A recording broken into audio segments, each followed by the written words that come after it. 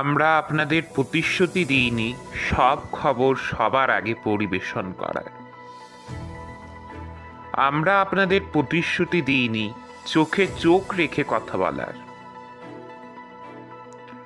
আমরা আপনাদের প্রতিশ্রুতি দিইনি, খবরকে রাজনৈতিক দৃষ্টিভঙ্গির রঙে পরিবেশন করার।